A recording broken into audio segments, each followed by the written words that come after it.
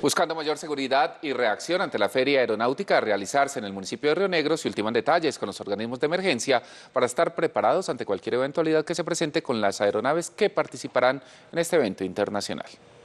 ¿Alguno de ustedes algún comentario, el buzo? El tiempo y la reacción fueron analizados en el último ejercicio desarrollado por la Fuerza Aérea Colombiana con los cuerpos de bomberos de El Peñol y Guatapé previo a la feria aeronáutica. Una sola aeronave, dos botes con todos estos organismos a ensayar la eyección de un piloto, el rescate de, de uno o varios pilotos. Estos ejercicios permiten preparar a los bomberos, policía y demás organismos de socorro para que pueda ayudar ante una emergencia con una aeronave que participa de la feria. Estamos listos, estamos preparados, hemos entrenado, hemos tomado con seriedad eh, la feria aeronáutica. Eh, por el buen nombre de, de, la región, de todas las entidades involucradas, de nuestro país. Además de los bomberos de El Peñol y Guatapé, se tiene comunicación constante durante el desarrollo del evento con el DAPAR, Defensa Civil y Búsqueda y Rescate Aeronáutico de Colombia, ante cualquier apoyo en alguna emergencia.